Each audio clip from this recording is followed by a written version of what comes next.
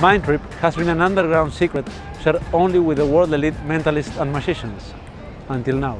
Free spectators choose three different locations in the world from a page ripped out from a travel magazine and you can instantly reveal the places they are thinking of. Sound, right? It combines three different methods to create this wonderful illusion. Carry it every day in your wallet and you will be able to perform it casually for a group of friends on a coffee shop or professionally on a stage for a thousand people. Made from durable tear-proof paper for heavy use, will last hundreds of performances. Just, I want you to, to find your place here, don't let me see. We include different routines, tips and ideas for close-up and stage. The pyramids.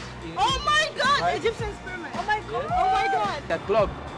You're thinking of the Big Ben, right? In England. Yeah. No fucking way, dude. Created by Lawrence Sullivan and presented by me.